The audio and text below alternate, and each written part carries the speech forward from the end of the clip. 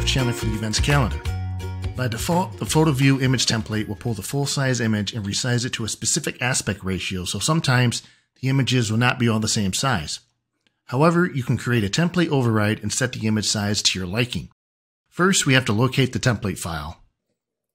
And we'll begin by going to WP Content, Plugins, Events Calendar Pro, Source,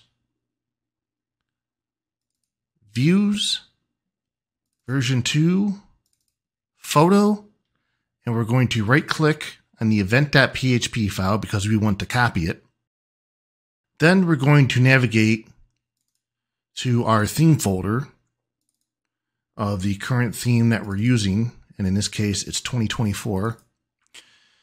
And we're going to go into the tribe folder, Events Pro, version 2, photo. And there you can see I've already pasted the file into this directory.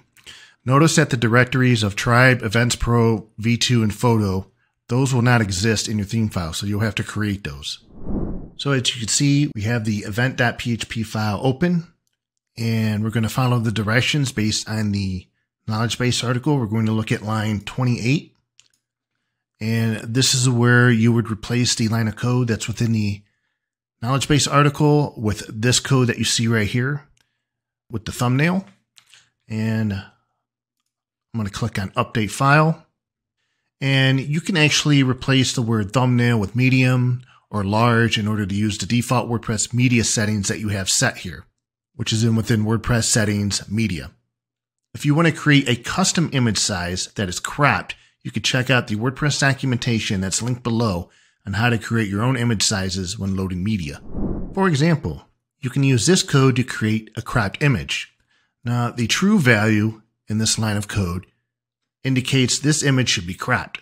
I've pasted this code snippet using the code snippets plugin, which is available for free on the WordPress.org plugin directory. However, you can also add this code snippet to your theme's functions.php file. Keep in mind that any images that were uploaded before adding the new image size will not have a new image with a new size generated. So in order to fix this problem, you'll need to regenerate your WordPress website's thumbnails using the plugin named Perfect Images or a similar type plugin that will regenerate thumbnails.